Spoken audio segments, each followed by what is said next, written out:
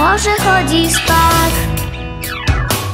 Czym lepiej słońce jest, a może pada deszcz?